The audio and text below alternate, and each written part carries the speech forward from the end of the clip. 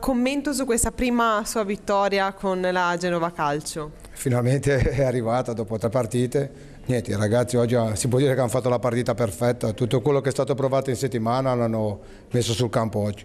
Dobbiamo continuare così e fino alla fine fare più punti possibile e poi fare i miei conti. Quindi fare più punti possibili. Qual è eh, il cambiamento che si sente di aver dato a questa squadra?